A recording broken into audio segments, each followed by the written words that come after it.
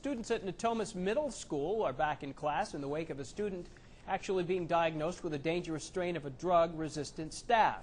Today, students were given hand sanitizer as they arrived at school. This comes after one of their classmates was diagnosed with a MRSA bug, MRSA. Yesterday, cleaning crews sanitized the entire school to try to stop the spread of the infection. Parents say they're still being cautious.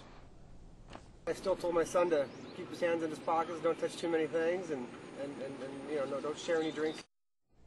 Health officials say the easiest way to keep yourself from getting a staph infection is to wash your hands with warm water and soap often.